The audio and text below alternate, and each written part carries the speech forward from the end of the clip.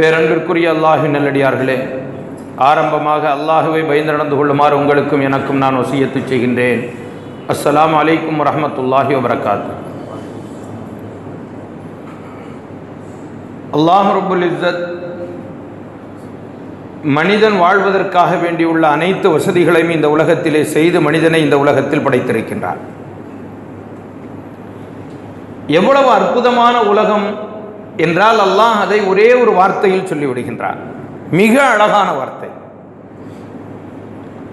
ஒரே ஒரு வசனம் அதில் ஓராயிரம் பொருட்கள் இருக்கிறது இருக்கிறது. சூரத்தும் நப என்ற அம்ம சூராவினுடைய ஆயத்துக்களில் ஒன்று அலம் நஜாலில் அர்ல மிஹாதா. நாம் இந்த பூமியை உங்களுக்கு தொட்டிலாக ஆக்கி வைத்திருக்கின்றோம். இதை நீங்கள் கவனித்து பார்க்க வேண்டாமா? மனிதனுக்கு ஒரு குழந்தைக்கு எப்படி பாதுகாப்பானதாகவும் சுகமானதாகவும் தொட்டில் இருக்கின்றதோ அதுபோல மனிதன் வாழ்வதற்கு இந்த பூமி தொட்டிலை போன்றிருக்கின்றது. இன்று வாழ்க்கையினுடைய யதார்த்த நிலையிலிருந்து தொட்டில் போன்றவைகள் எல்லாம் குழந்தைகளை தாளாட்டுவது தொட்டிலில் இட்டு தாளாட்டுவது என்ற வழக்குகள் எல்லாம் இன்று ஒளிந்து போய்விட்டது. தொட்டிலில் போட்டு ஒரு குழந்தையை தாளாட்டும் போது அந்த குழந்தைக்கு எவ்வளவு இன்பம் இருக்கும் எவ்வளவு பாதுகாப்பு இருக்கும் என்ன சுகம் இருக்கும் ஏதாவது கவலை இருக்குமா அதற்கு நோய் வருமா அல்லது உறக்கம் இல்லாமல் அது தத்தளிக்குமா ஒன்றுமே இருக்காது. மிக ஆனந்தமாக அந்த தொட்டிலில் அது ஆடிக்கொண்டிருக்கும். பெரியவர்கள் கூட தொட்டிலில் ஆட்டினால் நன்றாக தூங்கி விடுவார்கள். அல்லாஹ் இந்த உலகத்தை படைத்ததை பற்றி சொல்கின்றான் அலம் நஜ் அலில் அர்ல மிஹாதா. நீங்கள் வாழ்வதற்காக உங்களுக்காக தொட்டிலாக இந்த உலகை நாம் ஆக்கி வைத்திருக்கிறோம் நீங்கள் அதில் எப்படி பயன்படுத்த வேண்டுமோ எப்படி வாழ வேண்டுமோ இத்தனை இன்பங்களுடனும் இந்த உலகிலே நீங்கள் வாழ்ந்து கொள்ளலாம். உங்களுக்காகத்தான் இந்த உலகில் மலைகள் படைக்கப்பட்டிருக்கின்றது. உங்களுக்காகத்தான் இந்த உலகில் கடல் படைக்கப்பட்டிருக்கின்றது. உங்களுக்காகத்தான் இந்த உலகில் காடுகள் படைக்கப்பட்டிருக்கின்றது. உங்களுக்காகத்தான் இந்த உலகிலே விலங்குகள் படைக்கப்பட்டிருக்கின்றது. உங்களுக்காகத்தான் இந்த உலகிலே காய்கறிகள் படைக்கப்பட்டிருக்கின்றது. உங்களுக்காகத்தான் இந்த உலகில் பழங்கள் படைக்கப்பட்டிருக்கின்றது. உங்களுக்காகத்தான் இந்த உலகிலே பாதைகள் படைக்கப்பட்டிருக்கின்றது. ஆக இந்த உலகில் படைக்கப்பட்டிருக்கின்ற இந்த உலகிற்கு மேலும் படைக்கப்பட்டிருக்கின்ற எல்லாமே உங்கள் வசதிக்காக படைக்கப்பட்டிருக்கின்றது மனிதன் எப்படி படைக்கப்பட்டிருக்கிறான்? நான் சொன்னவைகள் குரானில் உள்ளதை சொல்கிறேன். ஒல் ஜிபாலா உத்தாரா வஹலக்னாக்கும் அஸ்வாஜா வஜஅல்னா நௌமக்கும் சுபாத்தா வஜஅல்னா லைல லிபாசா வஜஅல்னா நஹார மஆஷா. இந்த உலகில் மலைகள் படைக்கப்பட்டதை பற்றி சொல்கின்றான் உங்களுக்கு தூக்கம் கொடுத்ததை பற்றி சொல்கின்றான் உங்களை விழிக்க வைத்ததை பற்றி சொல்கின்றான் பகலை படைத்ததை பற்றி சொல்கிறான் இரவை படைத்ததை பற்றி சொல்கிறான் பகலில் உங்களுக்கு சுகமாக உறங்குவதற்கு நாம் நேரத்தை கொடுத்திருக்கின்றோம். ப- இரவிலே உங்களுக்கு உறங்குவதற்கு நேரத்தை கொடுத்திருக்கின்றோம். பகலில் நீங்கள் உழைப்பதற்கான நேரத்தை கொடுத்திருக்கின்றோம். இதை மாற்றாதீர்கள். ஒரு ஆடை ஒரு மனிதனுக்கு என்ன பாதுகாப்பை கொடுத்து இன்பத்தை கொடுக்குமோ அது போன்று இரவு உங்களை மூடி பாதுகாத்து உறங்க வைக்கின்றது. வாழ்வாதாரங்களை தேடுவதற்காக வேண்டி பகல் படை படைக்கப்பட்டிருக்கிறது. உலகை இப்படி படைத்த இறைவன் மனிதனை படைத்ததை பற்றி சொல்லும் பொழுது அற்புதமாக ஒரே வார்த்தையில் சொல்லிவிடுகின்றான். மிக நேர்த்தியான அழகான உருவில் நாம் மனிதனை படைத்திருக்கின்றோம். கர்ரம் கர்ரம்னா பனி ஆதம். இந்த உலகத்தினுடைய அத்தனை படைப்புகளிலும் ஆதமுடைய மக்களை நாம் சங்கைப்படுத்தி கண்ணியப்படுத்தி சிறப்புப்படுத்தி மேன்மைப்படுத்தி மகிமைப்படுத்தி வைத்திருக்கின்றோம்.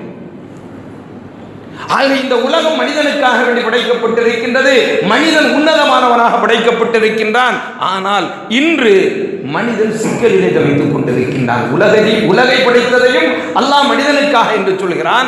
அதை அற்புதமாக படைத்ததாக சொல்கிறான். அழகாக படைத்ததாக சொல்கிறான். அனைத்து பயன்பாட்டோடு படைத்ததாக சொல்கிறான். மனிதனை படைத்ததை பற்றி சொல்லும் பொழுது இந்த உலக படைப்புகளில் அத்தனையிலும் மனிதன் ஒழுங்கான நேர்த்தியான அழகான படைப்பாக படைக்கப்பட்டிருப்பதாக சொல்கிறான். ஆனால் இன்று நிம்மதி இல்லை. பல்வேறு விதமான காரணங்களால் மனிதன் இன்று உலகிலே அச்சப்பட்டு கொண்டு பயந்து கொண்டு வாழ்ந்து கொண்டிருக்கிறான். காரணம் இந்த உலகம் படைக்கப்பட்ட நோக்கத்தை அவன் மறந்து இந்த உலகம் படைக்கப்பட்டிருக்கின்ற விதத்தை அழித்து இயற்கைக்கு முரணான செயல்களை செய்து தானும் கெட்டு உலகத்தையும் கெடுத்து மற்றவர்களையும் வாழாமல் செய்து கொண்டிருக்கின்ற மகத்தான பணியை இன்று மனிதனை கையில் எடுத்துக்கொண்டான் உலகத்தில் இரண்டாயிரத்தி பனிரெண்டாம் ஆண்டு டபிள்யூஹெச்ஓ உலக சுகாதார நிறுவனம் ஆய்வு செய்து சொல்கிறது. இரண்டாயிரத்தி பனிரெண்டாம் ஆண்டு எங்களுடைய கணக்கின்படி ஒரு கோடியே நாற்பது லட்சம் பேர் புற்றுநோயினால் பாதிக்கப்பட்டிருக்கின்றார்கள். எண்பது லட்சம் பேர் இறந்து விட்டார்கள் வருகின்ற சில ஆண்டுகளில் இது எழுபது மடங்கு அதிகரிக்கும். எழுபது மடங்கு அதிகரிக்கும். இன்றைக்கு நிலை என்ன? இன்றைக்கு வீட்டுக்கு ஒரு ஆள் கேன்சர்ல பாதிக்கப்படாமல் இருந்தால் அது அல்லாஹுடைய பெரிய நியமத்து. சாதாரணமாக ஒரு நேரத்தில் சுகர் எனக்கு இருக்குது எனக்கு பிபி இருக்குது அதுவும் புதுசாக வந்தது தான் இந்த சுகர் பிபிங்கிறதும் புதுசாக வந்தது தான் மனிதன் தன்னைத்தானே கெடுத்து கொண்டு வரவழைத்துக் கொண்டது தான் உலகத்தினுடைய கெடுமதியாளர்கள் மனிதர்களுக்கு கொடுத்த மிகப்பெரிய துன்ப பரிசு தான் இந்த சுகரும் பிபியும் அதே போன்று அவர்கள் கொடுத்த அந்த செயல் திட்டத்தை கனகச்சிதமாக பயன்படுத்தி நமக்கு நாமே இப்பொழுது புற்றுநோயை வாங்கி வைத்துக் கொண்டிருக்கின்றோம். இதனால் பாதிக்கப்பட்டவர்களை நீங்கள் நேரடியாக சென்று கேன்சர் இன்ஸ்டிடியூட் அடையாறு புற்றுநோய் மரு காப்பகத்தில் நீங்கள் போய் பாருங்கள். அவர்கள் துடிக்கின்ற துடிப்பு. அவர்கள் கதறுகின்ற விதம். அவர்களுக்கு கொடுக்கப்படக்கூடிய மருத்துவ முறைகளால் அவர்களுக்கு ஏற்படுகின்ற வலி. சாதாரணமாக ஒரு மனிதன் சகிக்க முடியாத அளவிற்கு துன்பத்தை கொடுத்துக் கொண்டிருக்கின்றது. யாராவது குடும்பத்தில் ஒருவர் இப்படி பாதிக்கப்பட்டு விட்டால் முழு குடும்பமும் கவலை அடைந்து விடுகிறது. அவர் தீராத புற்றுநோய் என்று தீர்மானிக்கப்பட்டு விட்டால் எப்பொழுது இறப்போம் என்பதை எண்ணிக்கொண்டு அவர் வாழுகின்ற வாழ்க்கை அதை பார்த்து கொண்டிருக்கின்ற சொந்தங்கள் அதற்கு மருத்துவம் செய்து கொண்டிருக்கின்ற நிலைமைகள் இவை அனைத்தும் அந்த குடும்பத்தையும் சுற்றுச்சூழலையும் மிகுந்த சோகத்திற்குள்ளாக்குகிறது. உழைப்பவனால் உழைக்க முடிவதில்லை. சந்தோஷங்களை பல வருடங்களாக அவர்கள் பலி கொடுத்து விடுகின்றார்கள். பள்ளிதோறும் கேட்கின்ற இடங்களில் எல்லாம் இந்த மருத்துவ உதவிக்காக வேண்டி யாசகம் கேட்கக்கூடிய நிலை ஏற்படுகிறது. உலகத்தினுடைய சமூகத்தை பொதுவாக பாதித்துக் கொண்டிருந்தாலும் தமிழகத்தில் இது எங்கு அதிகமாக இருக்கின்றது என்று ஒரு சர்வே ஒரு கல்லூரியின் மூலமாக எடுக்கப்படுகிறது சமீபத்தில். அந்த கல்லூரி தமிழகத்தினுடைய பல்வேறு ஊர்களை ஆராய்ந்து எந்த ஊரில் இது அதிகமாக இருக்கின்றது என்பதை எடுக்கும் பொழுது முதல் இடத்தில் மிக பெரும் முஸ்லிம்கள் அதிகமாக வாழும் அடர்த்தி கொண்ட ஒரு ஊர் முதன் முதலாக வருகிறது. நான் அந்த ஊரினுடைய பெயர் சொல்ல விரும்பவில்லை. ஏனென்றால் அவர்களுக்கு அது வருத்தம் அளிக்கும் சர்வசாதாரணமாக அந்த வீட்டிலே யாராவது ஒரு நபர் கேன்சருக்கு ஆட்பட்டு இருக்கின்றார் இரண்டாவது ஒரு ஊர் வருகின்றது அந்த ஊரும் ஒரு முஸ்லிம் ஊர். இவர்கள் எதனால் இந்த கேன்சரிலே பாதிக்கப்பட்டிருக்கின்றார்கள் என்பதற்கு அவர்கள் தரும் பல்வேறு கூறுகளில் முதலாவது இடத்தில் இடம்பெறக்கூடியது இவர்கள் உண்ணுகின்ற உணவு முறைகள் என்பதாக அந்த கல்லூரி முதலிடத்தில் வைக்கின்றது. இவர்கள் அதிகமாக மாசியை உபயோகப்படுத்துகின்றார்கள் கருவாட்டை உபயோகப்படுத்துகின்றார்கள். இந்த இரண்டையும் பதப்படுத்தக்கூடிய முறை கேன்சர் வருவதற்கு ஏதுவாக இருக்கிறது. அந்த இடத்தில் அதை பதப்படுத்தும் முறை கேன்சர் வரும். அதற்கு அடுத்துதான் அவர்கள் சில ஆலைகளினுடைய பெயரை எழுதுகின்றார்கள். டிசிடபிள்யூ கூடங்குளம் கூடங்குளம் அணுமின் நிலையம். இது போன்று அவர்கள் எடுத்துக்கொண்டு போவது அதற்கு பிறகு கேன்சருக்காக வேண்டி ஏன் இது ஏற்படுகிறது? விவி மினரல்ஸ் ஆலைகளினுடைய பட்டியலை இடுகின்றார்கள். எனவே முஸ்லிம்கள் இப்பொழுது விழித்துக் கொள்ள வேண்டிய நேரம் இருக்கின்றது. சில மருத்துவமனைகளில் பிறந்த குழந்தைகள் புற்றுநோயினால் பாதிக்கப்பட்டிருக்கின்றார்கள். அவர்களுக்கு என்ன சிகிச்சையை கொடுப்பீர்கள்? அந்த சிகிச்சையை அந்த குழந்தை தாங்குமா? ஒரு தடவை ஒருவருக்கு கீமோதெரப்பி மூலம் அவருக்கு சிகிச்சை அளிக்கப்படுமானால் ஒரு மைக்ரோ ஓவன்ல விட்டு உள்ள வச்சு இருந்தா அவருடைய உடல் எப்படி கொதிக்குமோ அது போன்று உள்ளே கொதித்து கொண்டிருக்கும். வெளியே யாருக்கும் தெரியாது சொல்ல முடியாது. ஆரோக்கியமாக வாழ்பவர் அவருடைய வலியை அவரால் உணர முடியாது. எலும்பு மூட்டுகள் ஒவ்வொரு இடத்திலும் வலித்துக் கொண்டிருக்கும். தலை பாரமாகிவிடும். நீர் கோர்த்து கொண்டிருப்பதை போன்று எப்போதும் இருக்கும். சில நாட்களில் அவர்களுடைய அங்க அடையாளங்கள் சிதைய ஆரம்பித்துவிடும். இவரா அவர் என்ற அளவிற்கு அவர் மாற்றம் அடைந்து விடுவார். அதற்கு முதலில் கொடுக்கப்படக்கூடிய கீமோதெரப்பியிலேயே. இதற்கு பிறகு இதற்கு இன்னும் மருத்துவ முறைகள் இருக்கிறது ரேடியேஷன் கொடுக்கிறது. பிறகு சர்ஜரி இவைகளெல்லாம் ஒரு மனிதனை நிலைகுலைய செய்துவிடும் இதற்கு மேலும் இது குணமாகி விடுமா என்றால் இல்லை இல்லை. அவர்களை கொஞ்சம் வலி இல்லாமல் நாட்களை கடத்துவதற்கு நாங்கள் இந்த சிகிச்சையை கொடுக்கின்றோமே ஒழிய அவர்கள் குணமடைவதற்கு நாங்கள் கொடுக்க முடியாது. அது குறிப்பிட்ட ஸ்டேஜுக்கு மேல தாண்டிடுச்சு அப்படின்னா எங்களால் ஒன்றும் செய்ய முடியாது. கடைசியில் ஒரு நிலைமை வருகிறது. அந்த புற்று நோயாளி வலியில் அலறி துடிக்கும் பொழுது மருத்துவம் கொடுக்கப்படுகிறது. அது வெறும் பெயின் கில்லர் வலியை மறக்க செய்யக்கூடிய மறக்க செய்யக்கூடிய ஒன்றுதானே தவிர அது சிகிச்சை அல்ல. எப்ப பார்த்தாலும் போதையில் இருப்பதை போன்று அவருடைய நிலையை ஆக்கிக் கொள்ளும். இதுதான் மருத்துவத்தால் கொடுக்க முடிந்தது. இந்த அளவிற்கு மிக கொடுமையான ஒரு வியாதி கேன்சர் இன்றைக்கு எல்லா இடங்களிலும் நீக்கமர நிறைந்திருக்கின்றது. நகரங்களில் மட்டுமல்ல குக்கிராமங்களில் இருக்கின்ற ஏழை முதல் பணக்காரர் வரை அத்தனை பேரையும் பிடித்துக் கொண்டிருக்கிறார்.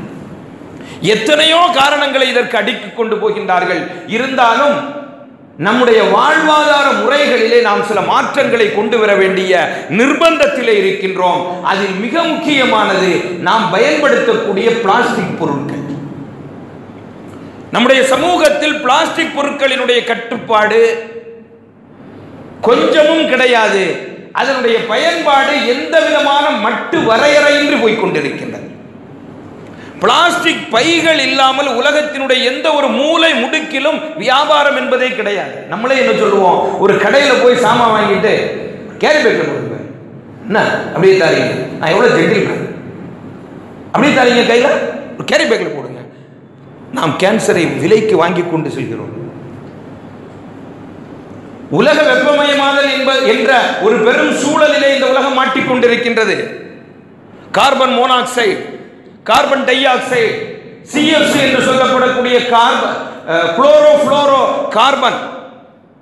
நம்முடைய ஏசி வெளியிடக்கூடிய இந்த கார்பன் ஃப்ரிட்ஜுகள் வெளியிடக்கூடியவை நம்ம அடிக்கிறோமே ஸ்ப்ரே இவைகளினால் ஏற்படக்கூடிய இந்த பச்சை வாயுக்கள் என்று சொல்லுவார்கள். பச்சை நில பச்சை வீடு வாயுகள் என்று சொல்லுவார்கள். இவைகளினால் ஏற்படக்கூடிய பூமி வெப்பமடைதல் இருக்கின்றதே.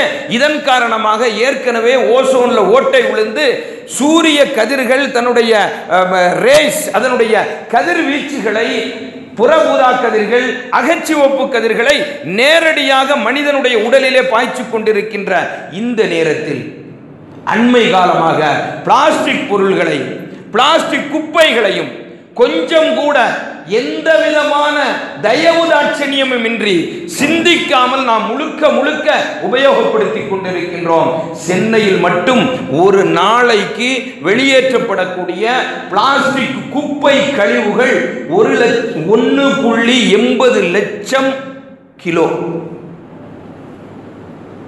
சென்னை பெங்களூரு ஹைதராபாத் இவைகளிலே இருநூறு டன் இருநூற்றி ஐம்பது டன்னுக்கு மேல ஒரு நாளைக்கு பு- பிளாஸ்டிக் குப்பைகள் வெளியேறுகிறது.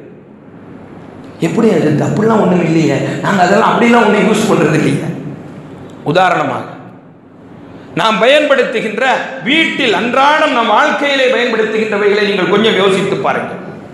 கிராமங்களாக இருந்தால் குடிப்பதற்காக வேண்டி தண்ணீர் வேண்டும். அந்த குடிக்கின்ற தண்ணீரை சேமித்து வைக்கக்கூடிய இடம் பிளாஸ்டிக் குடம். நாங்கள் நகரங்களில் வாழ்கின்றோம். எனவே நாங்கள் மினரல் வாட்டரை மட்டும்தான் குடிப்போம். அந்த மிஷினையும் எங்கள் வீட்டிலேயே வச்சிருக்கிறோம். அது முழுக்க முழுக்க பிளாஸ்டிக். அது சேமிக்கப்படுவது அது எங்கு வந்து விழுகின்றதோ அந்த இடத்தில் எல்லாமே சூடாச்சு அப்படின்னா அந்த தண்ணீரும் சூடாகி அந்த அந்த பிளாஸ்டிக் எதை வெளியிடுமோ அந்த நச்சுத்தன்மையோடு அது கலந்து விடுகிறது.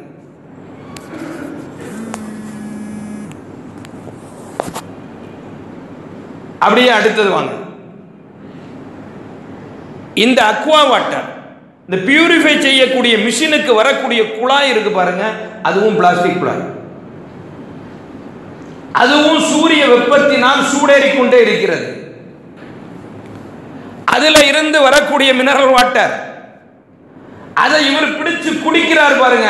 அந்த கப்பும் ஒன்னு பிளாஸ்டிக் கப்பா இருக்கும் இல்லைன்னா பிளாஸ்டிக் பாட்டிலா இருக்கும்.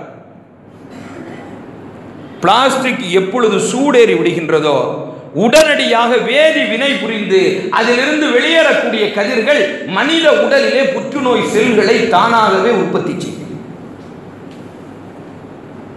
இது நம்ம குடிக்கக்கூடிய தண்ணீர். நேரடியாக நம்முடைய உடலுக்கு உள்ளே இதை செலுத்துகிறோம். கடைகளில் உண்ணும் உணவுகள் சமைக்கும் காய்கறிகளை வாங்கக்கூடிய நிலை. கடையில் போய் ஒரு காய்கறியை வாங்க போனா கூட பிளாஸ்டிக் பையில போட்டு கொடுங்கன்னு கேட்கிறோம் நாம் உண்ணக்கூடிய உணவாகிய அரிசி பருப்பு இது போன்ற தானியங்களை கூட பிளாஸ்டிக் கவரில் போட்டு அடைச்சு வாங்குறோம். கேரி பேக்குகள் இல்லாம எந்த வீடும் வெறுமையாக இருப்பதே கிடையாது. கேரி பேக்குகளினுடைய ஒரு பெரிய மலையே அங்கு குமிஞ்சு கிடக்கும். கடலை முட்டாயா? பிளாஸ்டிக் கவர் அதை போட்டு பல பழம் கடலை முட்டாய் இருந்தால் தான் பெட்டி கடையில் கடலை முட்டாய் அடுக்கி வச்சிருந்தா அவர் டீசெண்டாக வைக்கிறது இல்லை அது ஹெல்த்தி இல்லை. அதுக்கு பேர் இவங்க ஹைஜீனிக் அது ஹைஜீனிக் இல்லை. ஏன்னா அவர் கையை விட்டு எடுத்து தரார். இவர் கவரில் போட்டு சுற்றி நேரடியாக கேன்சரை கொடுக்குறார்.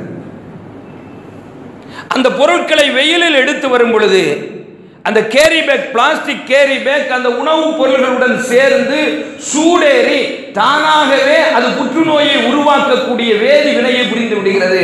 பிறகு நீங்க அதை அறுத்து சாப்பிடும் பொழுது தானாகவே உடலிலே நேரடியாக நாம் புற்றுநோயை வரவழைக்கின்ற செயல்களை செய்ய செய்யக்கூடிய ஒரு நிர்பந்தமான நிலைக்கு நாமே நமக்கு நாமே கொண்டு வந்து விடுகிறோம் சாப்பிடும் தட்டுகள் பிளாஸ்டிக் தட்டு விருந்துகளில் பரிமாறப்படக்கூடிய ஒரு இலை ஒன்று இருக்குது. அதுக்கு பேர் பேர் வச்சிருக்காங்க கம்ப்யூட்டர் இலையா? அது பிளாஸ்டிக்ல பிளாஸ்டிக் கோட்டிங் ஆனா அதுக்கு டீசெண்டா ஒரு பேர் வச்சா தானே எடுக்கும். அது அந்த நேரத்தில் கம்ப்யூட்டர் புதுசா எல்லாருக்கும் அறிமுகமான நேரத்தில் அந்த பேரை வச்சா அந்த கம்ப்யூட்டர் இலை கொண்டு வந்து போடுங்க. நல்ல சூடா பிரியாணியை போட்டு நேரடியாக கேன்சரையே திங்கிறது வேற என்ன வரும்?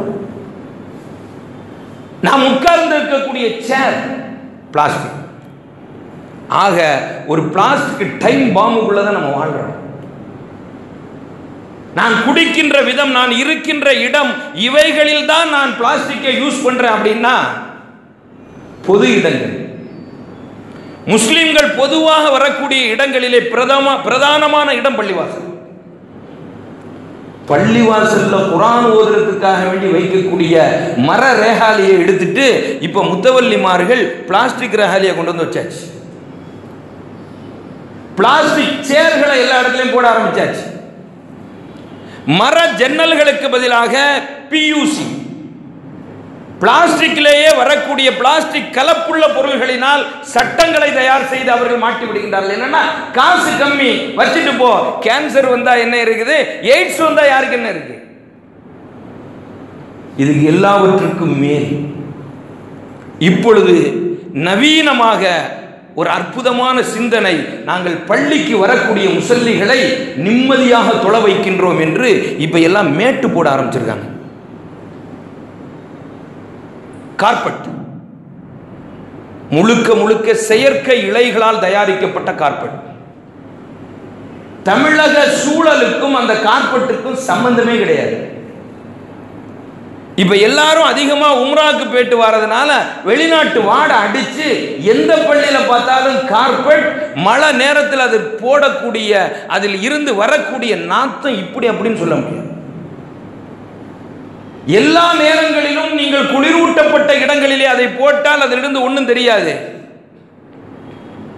நமக்கு கூழுக்கும் ஆசை மீசைக்கும் ஆசை. ஏசியும் போடணும் கரண்ட்டும் செலவாகக்கூடாது. அதனால போட்டுட்டு டப்புன்னு ஆஃப் பண்ணிடுவோம் குப்புன்னு அடிக்கும் ஒரு வாடை. அந்த வாடை என்ன வாடை? அதிலிருந்து வெளிவரக்கூடிய வாடை அதிலிருந்து வெளியேறக்கூடிய கதிர்வீச்சு. ரேஸ் நவ துவாரங்கள் வழியாக நாம் கேன்சருக்குரிய எல்லாத்தையும் உள்ள தள்ளுறோம். இப்போ புதுசா ஏற்கனவே போட்டிருக்கிற இந்த கார்பெட்டை இப்படி நிலைமை. நாங்கள் அந்த கார்பெட்லையும் இவரை மலக்குகள் மாதிரி மலக்குகள் ரெக்கையை வச்சு தாங்குற மாதிரி நாங்கள் முசல்லிகளை கொண்டு வரணும்னு அதுக்கு கீழே ஸ்பாஞ்ச் ஒன்று கொடுக்குறாங்க. முழுக்க முழுக்க கேன்சரை உண்டு பண்ணக்கூடிய. முழுக்க செயற்கையினால் ஆனது என்னவா? அவர் மேலே ஏறி தொழும் பொழுது அப்படி மெத்து மெத்துன்றது தான் அதனால அதுக்கு கீழே போட்டு சஜிதா செய்யும் பொழுது உன் மூக்கு வழியா டைரக்டா உசுரோடைய கேன்சர் ஆகும் அத ரூஹோட கலந்துரு. இனி உன்னை விடமாட்டோம். மஸ்ஜிதில் இருக்கக்கூடியவர்கள் கவனமாக இருக்க வேண்டும். இது என்ன இது? கொஞ்சமாவது நாம் யோசிக்க வேண்டாமா? வெளிநாடுகளில் போட்டிருக்கின்றார்கள் என்றால் அவர்கள் முழுவதும் ஏசி போட்டுக்கிட்டே உட்கார்ந்துருக்கிறாங்க. நான் இருக்கக்கூடிய அறையில் கீழே விரித்திருப்பது வினைல் கோட்டி. கீழே பிளாஸ்டிக் ஷீட் விரிச்சிருக்கிறேன். எனக்கு நேர வச்சு அடிக்கிற ஃபேனுடைய ரெக்கைகள் இப்பொழுது எதுவுமே மெட்டலில் வர்றதில்லை. எல்லாமே பிளாஸ்டிக் தான். அது அடிக்கிற சூடான காற்று அந்த பிளாஸ்டிக் ரெக்கையிலிருந்து அடிக்குது. நான் உட்கார்ந்துருக்கிற சேர் பிளாஸ்டிக் என்ன சித்து இப்படிலாம் சொல்கிறீங்க என் முன்னால் இருக்கிற ட்ரை பிளாஸ்டிக் நான் குடிக்கிற கப்பு பிளாஸ்டிக் என்னவா? இதெல்லாம் காசு கம்மி. டக்குன்னு இவருக்கு ஒரு ஒரு பேர் இதுக்கு என்னன்னா யூஸ் அண்ட் த்ரோ நாங்கள் சாப்பிட்ற அப்படியே போட்டுறது ஹைஜீனிக்காக இருக்கும். நம்முடைய முன்னோர்கள் எல்லாம் ஹைஜீனிக்லாம் ஒன்றும் இல்லை அவன் நூற்றி அறுபது வரு நூற்றி இருபது வருஷம் நூற்றி ஏழு நூற்றி இருபது குறைந்தபட்சம் எண்பது வயது வரை வாழ்ந்தார்கள் அறுபது வயது வரை பிள்ளை பெற்றார்கள். இன்றைக்கு முப்பது வயதிலேயே புற்றுநோயால் பாதிக்கப்படுகிறது. ஆக சுருக்கமா நம் நாம் சொல்லுவதாக இருந்தால் ஒரு பிளாஸ்டிக் டைம் பாம்புக்குள்ளால நம்ம வாழ்ந்துகிட்டு இருக்கிறோம். எனவே இந்த பிளாஸ்டிக் உலகிலிருந்து நாம் வெளியே வர வேண்டும். காரணம் என்ன தெரியுமா? ஒரு ஒரு இருபது நிமிடம் நீங்கள் பயன்படுத்தக்கூடிய இந்த கேரி பேக் சாப்பாடை போடுறதுக்கு பிளேட்டை வச்சு அதுக்கு மேல ஒரு பிளாஸ்டிக் பேப்பர் வச்சு அதுக்கு மேல சூடா கொண்டு வந்து போடுறாங்க சாப்பாட்டை. டீய நாமளே சொல்றோம். அந்த பிளாஸ்டிக் கவர்ல கட்டி கொடுத்துருங்க. அது ஆக மட்டமான பிளாஸ்டிக் கவர் ஒரு நேரம் இருந்தது. க- ஹோட்டல்களுக்கு போய் ஏதாவது சாமான் வாங்கிட்டு வரதாக இருந்தா தூக்குவாளின்னு ஒன்று வச்சிருப்பாங்க. அதுல போய் டீ வாங்கிட்டு வருவாங்க. சாப்பாடு வாங்கிட்டு வர்றதுக்கு டிஃபன் கேரியர் இருக்கும். அதை கொண்டு போய் வாங்கிட்டு வருவாங்க. கடைகளில் மளிகை ஜாமான் வாங்குவதாக இருந்தால் பையை கொண்டு செல்வார்கள் அந்த பையிலே வாங்கி கொண்டிருப்பார்கள் அது துணிப்பையில் அந்த எண்ணெய் வடிஞ்சிருக்கும். லேசாக ரெண்டு அரிசி ஒட்டிக்கிட்டு இருக்கும். அது ஹைஜீனிக் இல்லை அவங்க எல்லாம் பேக் பண்ணி வச்சிருக்கிறாங்க. எல்லாம் கவர் பண்ணி வச்சிருக்கிறாங்க. நம்ம அந்த கேரி பேக்லேயே போட்டு கொடுத்துருவாங்க. முடிஞ்சு போச்சு. மொத்தமாக கேன்சரை சப்ளை பண்ணிகிட்டு இருக்காங்க. இந்த இருபது நிமிடம் நாம் பயன்படுத்தக்கூடிய ஒரு கேரி பேக் மக்குவதற்கு நூறிலிருந்து ஆயிரம் ஆண்டுகள் ஆகும். அது மக்கணும் பூமியோட மக்கி போகணும் அப்படின்னா நூறில் இருந்து ஆயிரம் ஆண்டுகள் ஆகும் இது மட்டுமல்ல நாம் உபயோகிக்கக்கூடிய விளையாட்டு பொருள்கள் வீட்டு உபயோக பொருள்கள் அழகு சாதன பொருள்கள் தகவல் தொழில்நுட்ப பொருள்கள் அனைத்தும் பிளாஸ்டிக் எனவேதான் இன்றைக்கு வீட்டுக்கு ஒரு கேன்சர் பேஷண்ட்டை வைக்கக்கூடிய நிலைமைக்கு இந்த உலகம் தள்ளப்பட்டிருக்கிறது. இது சொல்ல போனால் ஒரு தந்திர உபாயத்தினுடைய முடிவிற்கு நாம் பலியாக்கப்பட்டிருக்கிறோம். ஒரு பெரிய மருத்துவ வியாபாரம் ஒன்று நடந்து கொண்டிருக்கின்றது. ஒரு நேரத்தில் கேன்சர் இன்ஸ்டிடியூட் எங்காவது கேன்சர் சம்பந்தமான ஆராய்ச்சி மையங்கள் மருத்துவமனைகள் ஒன்று ரெண்டு இருக்கும். இப்ப திரும்புற இடமெல்லாம் போட்டு வச்சிருக்கிறாங்க. மல்டி ஸ்பெஷாலிட்டி ஹாஸ்பிட்டல் முதல்ல சின்னதா ஒரு கூரையில வச்சிருந்தாரு. திடீர்னு பார்த்தா ஃபைவ் ஸ்டார் ஹோட்டல் மாதிரி இருக்கு. நீங்க வந்து தங்குறதுக்கு நாங்க சிந்தூர் ஹோட்டல் கொடுக்குறோம். ஹில்டன் டவர்ல தங்கிக்கலாம். அதெல்லாம் ஏன் ஹோட்டலுக்கு போறீங்க? நாங்க ஹாஸ்பிட்டலையே ஹோட்டல் மாதிரி வச்சிருக்கிறோம். இங்க கொண்டு வந்து நீங்க வாழ்நாள் முழுக்க சம்பாதிச்ச சொத்தை பூரா வித்து தந்துட்டு போயிடுங்க.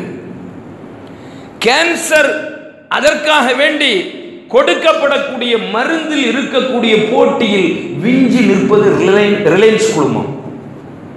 அவனுடைய மருந்து தான் இன்னைக்கு அதிகமான காஸ்ட்லியான மருந்து. நம்மை கேன்சர் பேஷண்ட் ஆக்கி அந்த மருந்துகளை வாங்க வைத்து அதில் சில பலர் குளிர்காய்வதற்காகவும் அவர்களுடைய இன்பத்திற்காகவும் ஒட்டுமொத்த மனித சமூகத்தினுடைய சுகாதாரத்தையும் உடல் அழகையும் உடல் நிலைமையையும் கெடுத்து கேன்சரை பரிசாக கொடுத்துக் கொண்டிருக்கின்றார். கடல் உயிரினங்கள். இப்போ ஆராய்ச்சியில் வந்திருக்குது சில நத்தைகளை எடுத்து பிரிக்கும் பொழுது அந்த நத்தைகளை பிளாஸ்டிக்கை தின்றிருக்கிறது. அது அதிலேயே இருக்குது மாடுகள் கேரி நீங்க தூர போடுற கேரி பேக்கை சாப்பிட்டு செத்து போகுது. ஏன்னா அதனுடைய இறைப்பையில் போய் அடைச்சுக்குது. நாம் போடு வீசி எறிகின்ற இந்த பிளாஸ்டிக் கழிவுகள் நிலத்திற்கு கீழே சென்று நீரினுடைய ஊற்றுகளை அடைத்து விடுகின்றன. பள்ளிக்கரணை கோயம்புத்தூர் மதுரை முத்தமிழ் நகரினுடைய ஒரு அந்த கொடுங்கையூர் இது போன்ற இடங்களில் கொட்டப்படக்கூடிய கழிவுகளை எரிப்பதன் மூலமாக பிளாஸ்டிக் எரியுது எரியுது எரியுது. அண்ணா சமாதியில் எரியிற அணையா விளக்கு மாதிரி எரிஞ்சுக்கிட்டே இருக்கு. ஏன்னா பிளாஸ்டிக் நிக்காது எரிஞ்சுக்கிட்டே இருக்கும். அது எரியும் உருகும் திரும்பியும் பத்திக்கிட்டு எரியும். ஆனால் மக்காது. மக்கவும் செய்யாது எரிஞ்சு சாம்பலாகவும் செய்யாது. அது எதுவுமே ஆகாது. இப்படிப்பட்ட ஒரு பொருள் வெளியேற்ற வெளியேற்றக்கூடிய அந்த நச்சு வாயுக்கள் புகை சுற்றுச்சூழ இருக்கக்கூடியவர்களுக்கு டிபி வியாதியை கொடுக்குது கேன்சரை கொடுக்குது. சுத்தி இருக்கிற குடும்பங்கள் யாருன்னு பார்த்தா யாரும் ஐயர்கள் அங்க வசிக்க மாட்டாங்க. எந்த அபிஷியலும் அங்க இருக்க மாட்டாங்க. இருக்கிறது பூரா முஸ்லீம். முஸ்லிம்களிடத்தில் இருக்கக்கூடிய ஒரு கெட்ட பண்பு என்ன தெரியுமா? இஸ்லாமிய சமூகத்தினுடைய கலாச்சார விழுமியங்களை தாங்கிய ஊர்களிலே இருந்து கொண்டிருக்கும் பொழுது யாராவது ஒருவர் அதிக விலைக்கு தன்னுடைய இடத்தை கேட்டால் அதை வாங்கி கொண்டு இவர் எண்ணுவார். நான் முத்தமிழ் நகர்லையா? கொடுங்கையூர்லையா? பள்ளிக்கரண பக்கத்துலையா? நான் போய் வாங்கி பங்களா கட்டிடலாம். அவ்வளோ சஸ்தாவாக இருக்குது. அங்கே போய் கேன்சர் விலைக்கு வாங்கிட்டு வந்துடுவார் கிடைக்கக்கூடிய இந்த அற்ப காசுகளுக்காக சுகாதாரமாக இருக்கக்கூடிய இஸ்லாமிய விழுமியங்களை தாங்கிய இடங்களிலிருந்து தங்களுடைய இல்லங்களை தூர எரிந்து விடுகின்றார் அல்லாஹ் கேட்கிறான் قل أرأيتم إن أصبح ماؤكم غورا فمن يأتيكم بماء معين இந்த பிளாஸ்டிக் எல்லாம் போட்டு போட்டு போட்டு தண்ணீரை எல்லாம் கீழே நீங்கள் போட்டு விட்டால் கீழே போற மாதிரி வச்சுட்டீங்க. இன்னைக்கு ஐநூறு அடி ஆயிரம் அடி ஆயிரத்தி ஐநூறு அடி நான் முற்றிலும் அதை உறிஞ்சி விட்டால் நீங்கள் எப்படி வெளியே தண்ணீரை கொண்டு வர முடியும்? உலக சுகாதார நிறுவனம் அதிர்ச்சியான அறிக்கையை கொடுக்கிறது. ஆறுகளை எப்படி நீங்கள் கழிவு நீர் வாய்க்காலாக மாற்றி விட்டீர்களோ இதே போன்று உலக சமுதாயம் கடலை பிளாஸ்டிக் கழிவுகளால் மிக பெரும் கழிவு நீர் குட்டைகளாக மாற்றிக் கொண்டிருக்கிறது. கடலே ஒரு நேரத்தில் அசிங்கமாக போயிடும். இன்னைக்கு நீங்க மெரினா பக்கம்லாம் போனால் வாசனைலாம் அடிக்காது நாத்தம் தான் அடிக்கும். மீன் நாத்தம் இல்லை சாக்கடை நாத்தம் அடிக்கும். இதே வெளிநாடுகளில் இருக்கின்ற கடற்கரை ஓரங்களை போய் பாருங்கள் அத்தனை சுத்தமாக இருக்கும். கடலையும் மனிதன் அநியாயமாக நாரடித்து விட்டான். நிலத்தையும் நாரடித்து விட்டான். மீதி எதை தான் இந்த மனித வாழ்க்கைக்கு நாம் விட்டு வைத்திருக்கின்றோம்? ஒரு சமயம் நம்முடைய சந்ததிகளுக்கு கேன்சரை பரிசாக கொடுத்து விட்டு செல்வதற்கு நாம் காத்திருக்கின்றோமோ? ஏன்னா பிறக்கின்ற குழந்தை இரத்த புற்றுநோய். ஒரு குழந்தைக்கு ரத்தம் ஏற்றிக்கிட்டு இருக்கிறாங்க. என்ன சார் என்ன மருந்துன்னு எனக்கு தெரியல அது ரத்தம்னு என்ன மருந்துன்னு நான் கேட்குறேன் அவர் சொல்கிறாரு டாக்டர் சொல்கிறாங்க இது ரத்த புற்றுநோய் நாங்கள் ரத்தம் ஏற்றிக்கிட்டு இருக்கோம். என்ன செய்யுமா? இந்த ரத்தத்தை நாங்கள் ஏற்றி முடிச்சிருவோம். அடுத்து எந்த நேரத்தில் அந்த ரத்தம் குறைஞ்சு அதில் இருக்கிற எல்லாமே போயிடும்னு தெரியாது. அது ஒரு மணி நேரத்துலையும் போகலாம் ரெண்டு நாள்லையும் போகலாம். திரும்பிய ரத்தம் ஏற்ற வாழவும் முடியாது சாவவும் முடியாது. இதற்கு செலவு செய்யக்கூடிய செலவீனங்கள் எவ்வளவு என்று நமக்கு தெரியாது. எங்கேயோ போயிட்டு இவ்வளவு விஷயங்களையும் கேட்ட நம்ம ஒரு உறுதிமொழி எடுப்போம். எடுக்கலாமா இன்ஷால்லா நான் பருகுகின்ற நீரில் எக்காரணத்தை கொண்டும் பிளாஸ்டிக்கை உபயோகிக்கவே மாட்டேன். எடுக்கலாமா? கப்பும் பிளாஸ்டிக்ல நான் யூஸ் பண்ண மாட்டேன். குடத்தையும் பிளாஸ்டிக்ல யூஸ் பண்ண மாட்டேன். Silver cup. ஒரு தடவை கழுவிட்டு திரும்பி குடிச்சுக்கலாம். Use and throw paper cup use and throw இது எல்லாமே மனிதனுக்கு இடையூறு அளிக்கக்கூடியது. எனவே நீர் குடிக்கக்கூடிய எந்த ஒரு உபகரணத்தையும் எந்த பாத்திரத்தையும் நான் பிளாஸ்டிக்கா யூஸ் பண்ண மாட்டேன். எடுத்துக்கலாமா சொல்லலாம் பள்ளியில் உட்காந்து நம்ம உறுதிமொழி ஏற்போம். நமக்காக நம்முடைய சந்ததிக்காக. இரண்டாவது எங்கள் வீட்டு சமையலறையில் உபயோகப்படுத்தப்படுகின்ற சமையல் சாதனங்களை வைக்கின்ற எந்த பொருளையும் நாங்கள் பிளாஸ்டிக்கில் வைக்க மாட்டோம். கண்ணாடி அல்லது பீங்கான் குடுவைகளில் வைத்துக் கொள்வோம். செய்யலாமா? எதை எடுத்தாலும் மசாலா ஜாமான் எடுங்க. அது பிளாஸ்டிக் டப்பா. இது ஒரு பிளாஸ்டிக் டப்பா. இப்போ அரிசியையே பிளாஸ்டிக் ட்ரம்ல தான் போட்டு வைக்கிறாங்க எல்லாமே கேடு. முந்தி அப்படி கிடையாது. வசதி உள்ளவர்கள் சில்வர் ட்ரம்ல வச்சிருப்பாங்க. வசதி இல்லாதவர்கள் மண்பானையில் அரிசி வச்சிருப்பாங்க. சுத்தமாக இருக்கு எந்த இடையூறும் கிடையாது. அடுத்து நான் உங்கள்கிட்ட ஒரு உறுதிமொழி கேட்குறேன். ரொம்ப கஷ்டமானது. ரொம்ப கஷ்டமானது. ஆனால் ரெண்டாயிரத்தி பத்தொன்பது ஜனவரி ஒன்றாம் தேதியிலிருந்து அரசின் மூலமாக ஆணையாக பிறப்பிக்கப்படவிருக்கின்றது சட்டமாக்கப்பட இருக்கின்றது. அதுக்கு நம்ம இப்பவுமே ரெடி ஆகிடுவோம் ஏன்னா பிளாஸ்டிக் இல்லாமல் போனால் நம்ம செத்துருவோமோன்னு பயந்துக்கிட்டு இருக்கிறோம். கேரி பேக் இல்லாட்டா? கேரி பேக் இல்லாட்டா உயிரே போயிடுமே. கேரி பேக்கை பூரா தடை பண்ண போகிறாங்க பேன் பண்ண போகிறாங்க நாம் இனிமேல் கடையில் உணவுப் பொருள்களை வாங்குவதற்காக வேண்டி உபயோகப்படுத்துவதற்கு எந்த வகையிலும் பிளாஸ்டிக் கேரி பேக்குகளை யூஸ் பண்ண மாட்டோம். என்ன வரமாட்டேங்குத? இன்ஷா சொல்லுங்க. இன்ஷா ஆனால் ஆனா இது கவர்மெண்ட்ல இருந்து சட்டமா போட்டுட்டா வேற வழி கிடையாது.